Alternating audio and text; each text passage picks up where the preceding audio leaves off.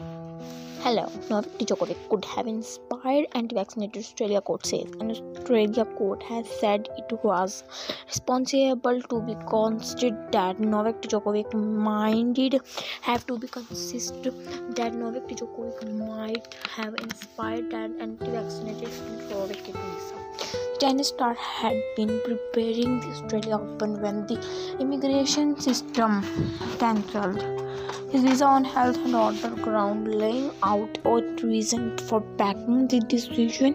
The court courts urged Djokovic opposition to vaccines was well known. An iconic tennis star influences people of all ages, it said in its formal written decision. This is not unfaithful. It does not need recreation. It is reconciliation of human behavior. The three-judge panel wrote, and it Novak Djokovic.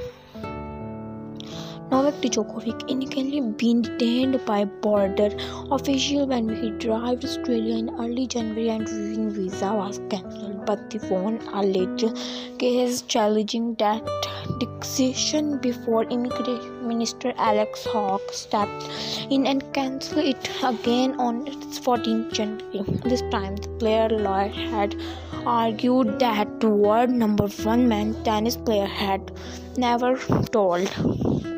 But the panel rejected those claims. Novak Djokovic, over a year, chosen not to be vaccinated since vaccines became available.